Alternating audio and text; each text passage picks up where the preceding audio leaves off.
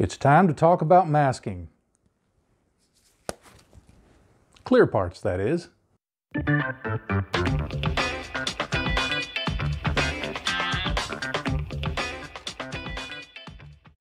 Over the years, as I've talked to people about masking canopies and clear parts, I find that generally people fall into one of two groups. It's either, yeah, I totally got this, or nope, nope, nope, nope, nope, can't do it, can't do it at all. Um, there doesn't seem to be a whole lot of gray area in the middle of that task. Now, of course, back in the days when I was building pretty much nothing but aircraft, I masked canopies all the time. Um, I've masked hundreds of canopies in clear parts. Uh, it's something that I had to get comfortable with to be an aircraft modeler. And that, that process of, of, of learning different ways of doing it and trying different techniques showed me some things that work and also some things that don't seem to work. And masking clear parts is something that I actually get quite a bit of, uh, quite a number of questions about uh, both just one-on-one -on -one talking with people uh, through messaging, through emails, things like that. Uh, people will ask me, how do you do it? What are your recommendations? What do you use? What should I use? Um, why, why, why do we do this at all? um, so I, I hear a lot and I get to talk with a lot of people. And I find that what seems to hinder people the most uh, are, are, things that can be lumped in two groups. The first thing just seems to be a, a lack of information. Uh, maybe they haven't done it before. Uh, maybe they've heard someone describe it, but they've not seen it demonstrated. Um, it's just, it's not that they don't want to, it's that they just don't have the information or maybe the tools and the materials to do it in a way that's not frustrating, a way that will give them success. And so because maybe they're trying to do it with less than optimal materials, they come away thinking this is a really difficult task. And when equipped with some basic information, some information about tools and equipment and things like that, they go back, they give it another try, and they say, hey, that wasn't as bad as I thought it was. The other group, and as I talk to people, this kind of becomes fairly clear, fairly quick, is just what I'll call, for lack of a better term, careless craft. Um, it's not that they don't necessarily have the right information, the right tools, or the knowledge of how to apply it. It's just that maybe there's some finer points of doing it that they get a little careless on. They rush through it or they don't follow some, some basic rules that have to really kind of be in place to make it work well for you. And that process frustrates them. And again, with just a few simple pieces of information, they're usually able to go, oh, okay, I hadn't thought about that, and then successfully move on to masking their canopies and clear parts without any problems. So what I want to do in this video, this, this one right here, right there, um, why'd you do that? Anyway, things I want to do in this video are talk about some of the methods of masking and some tips that you need to think about regardless of what you're doing, and then some just general thoughts on the application of, uh, you know, how do you do this just every day when you're working on your models in a way that's not going to be frustrating. Now, I will warn you, I did shoot some demonstration kind of videos. They're not intended to be how-tos. They're just more background. So while I ramble on, um, they're, they're showing in the background. So if you're looking at them and you're going, hey, he's masking the same canopy over and over again. Yeah, it's pretty much what I'm doing. Um, I just found a clear part and I used it to kind of demonstrate the very basics so that you have something to look at other than this. The first category of masking methods that I want to talk about are what I'm going to loosely call sticky methods, where you essentially stick something on the clear part and then cut away what you don't want to be there, and that's what gets painted. A very common method is to use some kind of masking tape. Uh, quite often the yellow hobby tape, Tamiya tape, there's other brands like that, is used. There's other tapes like that, but the, the basic method is you stick some tape on, burnish it down with a toothpick or something like that, and then use a knife blade to cut away what you don't want to be there. And what's left is the canopy framing, the, the clear part framing, and then you airbrush that. that's, that's a very common method and it's a good method. I do use it from time to time and I've used it many times in the past and it does work. Now, it has some advantages. It's really cheap. I mean, you, if, you, if you build models, you probably have masking tape. So it's something that's easily accessible for most people.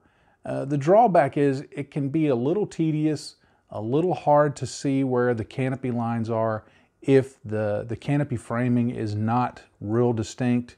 And if you leave it on there for just a little while, when you pull the masking away, it can leave a little bit of residue behind.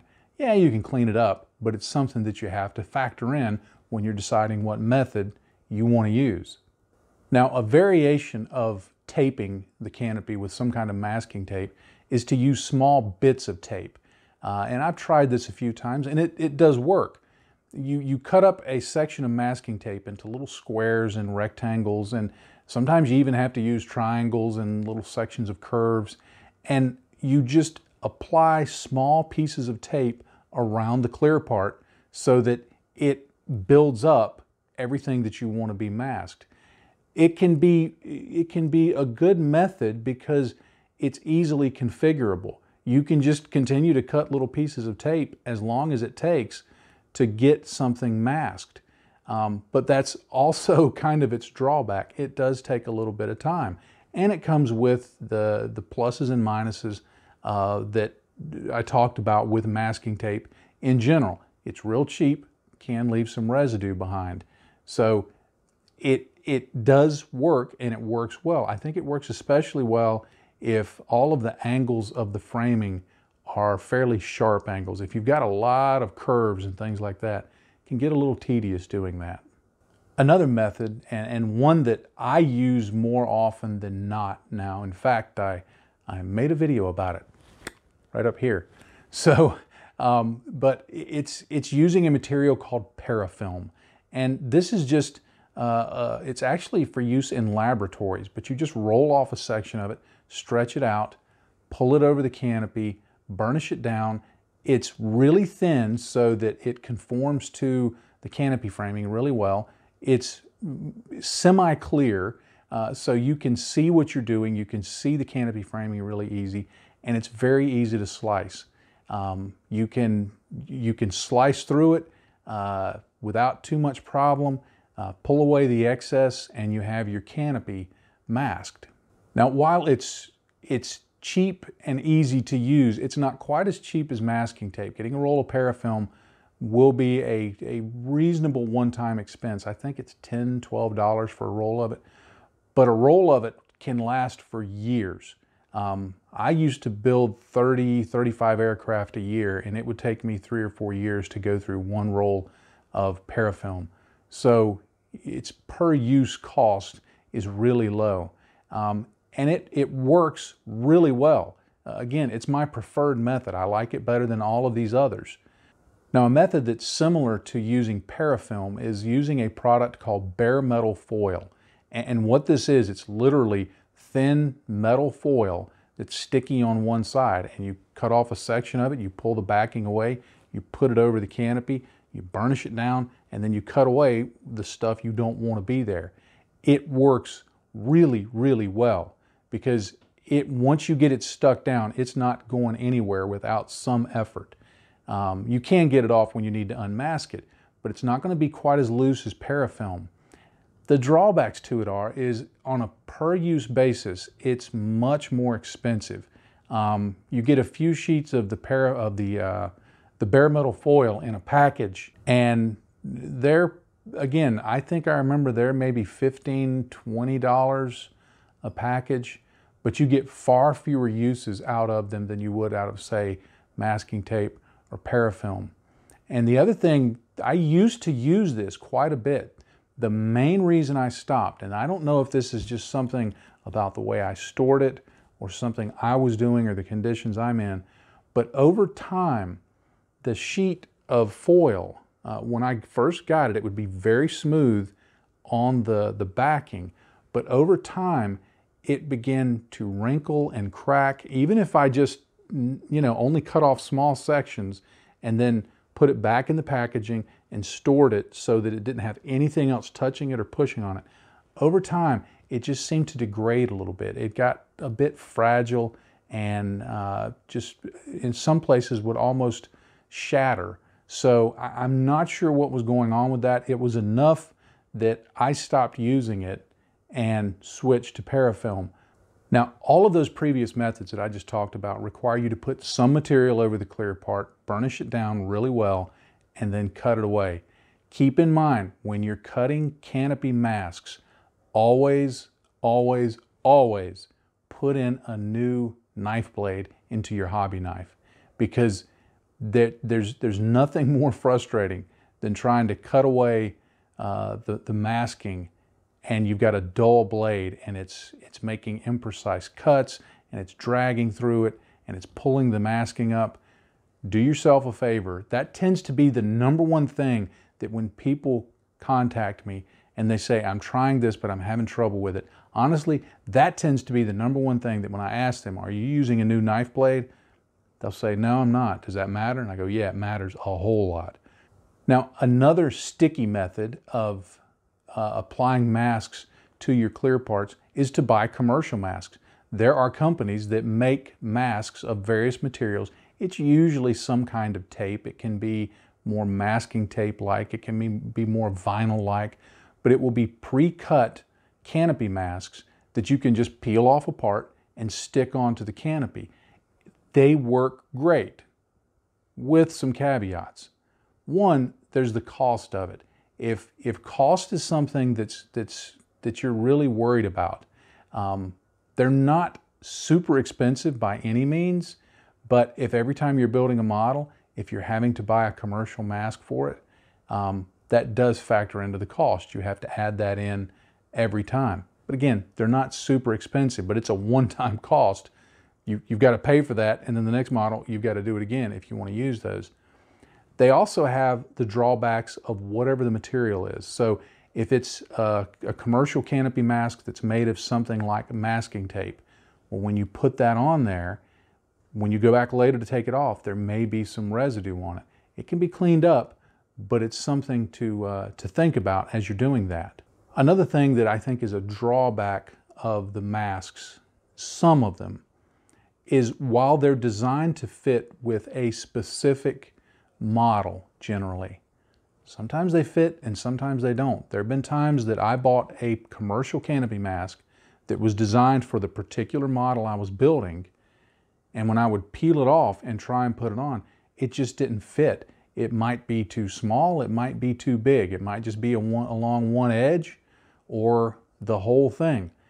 And that can be kind of a downer when you've spent the money on it and you realize, well, now I'm back to having to cut off pieces of this to make it work. Now, another sticky method that I've used a lot, but it's a little different than using tape or things like that, is using masking fluid. Now, this is a, fluid that it can be made from a variety of materials, but the basic idea is you paint it on, it dries, it masks things off, and then you paint it and you remove it. It's not something you put on and cut away. I've tried it. It can work in some cases, but it doesn't work well as a cutaway method in my opinion. It works best as a paint it on carefully and make sure it goes where you want method and then paint it. It can be really easy to use because you're just painting, but that's also one of the drawbacks if you're not real comfortable with precision painting, then it can be a little difficult to get it exactly like you want it. It's good stuff, but if if brush painting is something that challenges challenges ch- this hard for you, kind of like speaking, then then maybe you want to use one of the other methods. Now, another couple of methods I want to talk about are what I call the non-sticky methods. Um, one is to simply paint the canopy by hand with acrylic paint. Don't worry about masking it. Don't do anything like that. Just paint it with acrylic paint. It's very important to use acrylic paint. Uh, the reason being is once you get it painted on, and don't worry about being too neat. Once you get it painted on, you can simply take a toothpick and scrape away the excess. Now you have to be careful if you painted it on really thick because sometimes when you're scraping away the excess, it can pull paint from where you don't want it to be pulled. Sometimes you might have to make a little slice with a knife just to make sure you get a clean cut. But that one's super easy. It, it doesn't require any masking, just a little bit of cleanup work. Finally, another method, and this one, yeah, you stick it on, but I don't really consider it a sticky method, is to take either strips of painted tape or strips of decal paper or some kind of thing like that. And you cut the, the tape or the material and then you just apply it over the canopy framing. That can be a fairly easy way of doing it. It's a little tedious. It does work. The reason I'm not a real big fan of it is depending on what you're using, it may not hold up real well. It may be a little fragile. Um, if you're using, say, decals that you've printed out, sometimes getting a color match with your paint can be difficult. If you're using some kind of tape, uh, that can be difficult too because it may not stick down as well as you would like it to, you know, and, and, there's nothing there's nothing worse than having finished your model and you look at it and all of a sudden the canopy framing that you used painted tape uh, to, to, to make it look like it was painted pops up. Okay, so you have your canopy masking on. How do you get the stuff off? For all of those methods that I outlined above, I tend to just grab something as simple as a toothpick because that won't generally scrape the clear part, but it's sharp enough to pull up the masking. And I just take the end of it and I very carefully start in a corner uh, somewhere where there's like a 90 degree angle for the framing or something like that. And I just place the toothpick on the masking itself and just begin pushing it away. For most masks, that's going to start pulling them up. And you may have to work it a little bit. Uh, different masking methods are going to be easier or harder to pull up. But generally, using a toothpick is going to make it real easy to do so. Now, if you begin pulling up your canopy masking and the masking is pulling up some of the tape from the canopy frame, that's usually caused by having your paint a little too thick. What you can do there is just lightly go back with a new hobby blade and score through the edge of the canopy framing so that it makes a slice in the paint between where you want it to stay and you want it to come up with the masking. And by making just a little slice there, you can generally pull it up successfully. Once I get all the masking up, what I usually do is just grab a dry Q-tip and just kind of buff out the clear part because that will usually clean any residue that's left behind. Now, if it doesn't, what I do then is I put just the tiniest drop of rubbing alcohol on a Q-tip and then I dab it off on a paper towel so that there's only just the barest amount on there. And then I carefully clean the clear canopy part because that will get most residue up. But you do have to avoid getting it on the paint because it may lift the paint also. So keep that in mind. Now the final craft tip that I want to talk about, um, it's simple, but it's one that's often overlooked. I know I do it all the time because I, I, I get impatient, is work slowly. That's the key to working with canopy framing uh, and masking is work slowly. You know, I, I actually like to consider that a single task. That's, that's what I'm going to sit down to do today. Now, if I get it done and there's time to do other things, that's fine. But when I'm working on masking a canopy, I get my materials and I sit down and in my head, I'm thinking, this is the one thing I'm to do in this session and I'm going to take my time. I don't do it when I've got to rush off to work or when I'm tired or anything like that. I, it's, it's something I focus on and I'm careful about because that's going to give better results. I just want to briefly go over some of the most common problems I see just to get them all in one list.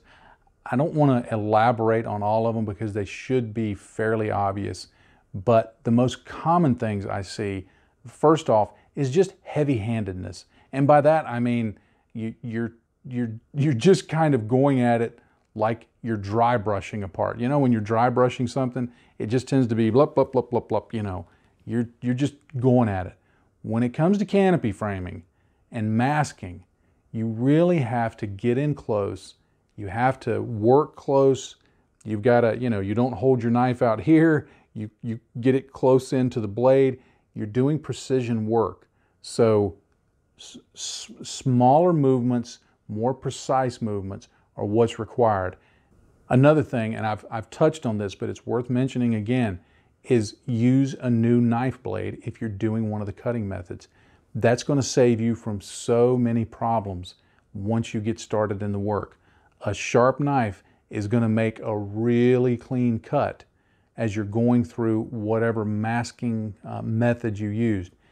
Another thing to keep in mind is burnishing. And what I mean by burnishing is just making sure the edges of the tape or the masking material that you're using are pushed down firmly against the surface, uh, both before you make any cuts and after, because when you're making cuts, even with a new knife blade, some materials can lift up just a bit.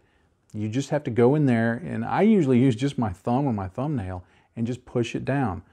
Now the next two I kind of think of as one thing, even though they're two different points on my little list that I have over here. Um, one is lack of familiarity with the material. If you're using a material for the first time, if you have something you can practice on, that's going to help just to let you see how it reacts, how it works, um, uh, how, how you need to handle it. And going along with that is just lack of practice.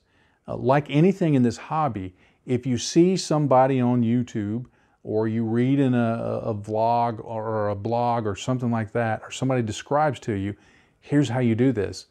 The first time you do it, it may not go as well as it will once you've done it 10 times. So don't always evaluate a method by the first application. It's going to take some familiarity with the materials and some practice to figure out what it is you like doing. Now, after having talked about all of these methods and the do's and the don'ts and all of that, you may be saying, okay, which one do you recommend? Well, as I said, I primarily use parafilm. That's my go-to method. However, I'm rarely one to, to advocate a single method for anything because different situations can require different methods. And each of these, uh, these, these types of canopy masking that I've talked about have advantages and disadvantages.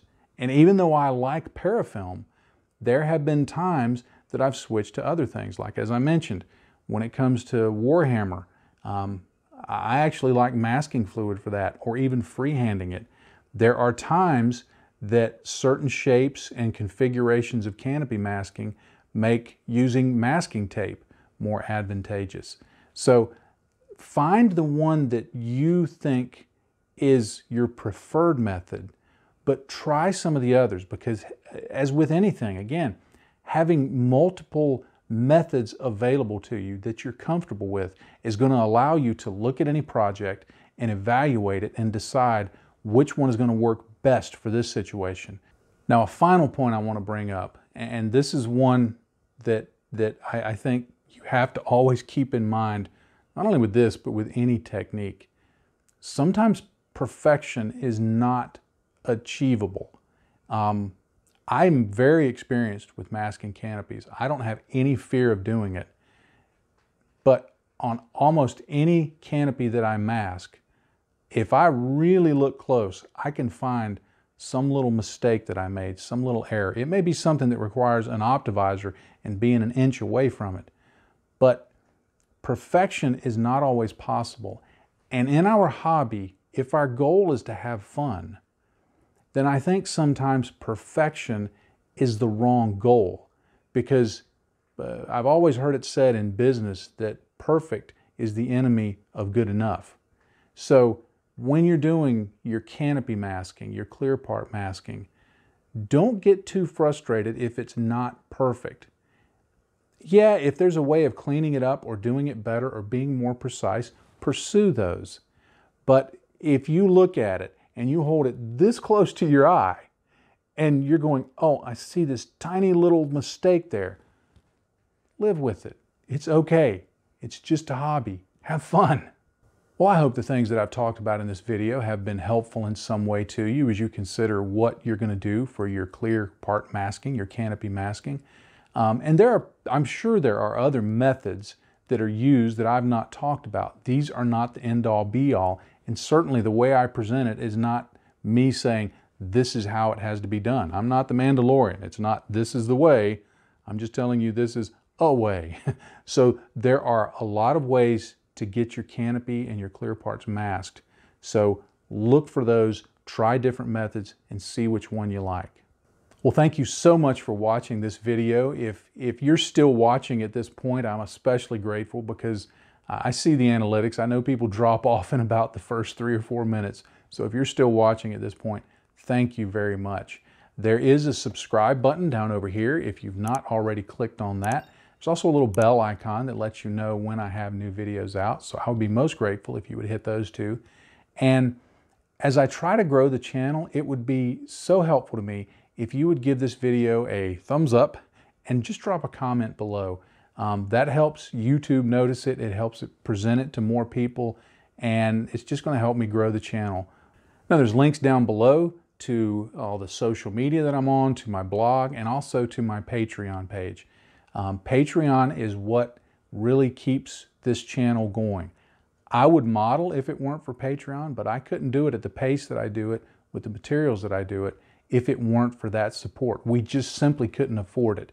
So if you would like to support the work that I do, please click on that link and just check out what's there. I'd thank you for your consideration. And if you're already a Patreon supporter, thank you so much. It is a blessing to me, it is a blessing to my family. Because of your support, I'm able to do more than I could do otherwise. And I am so very grateful to all of you who support me. Thank you very much. And with all that being said, I'll close as I always like to do. In this hobby, if you're not having fun, you're doing it wrong. Happy day to you, friends. Bye-bye.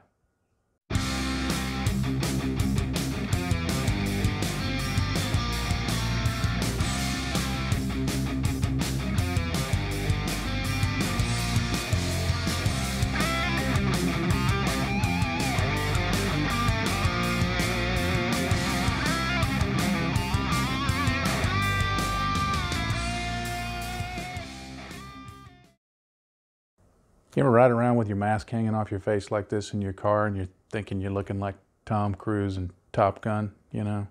Talk to me, Goose.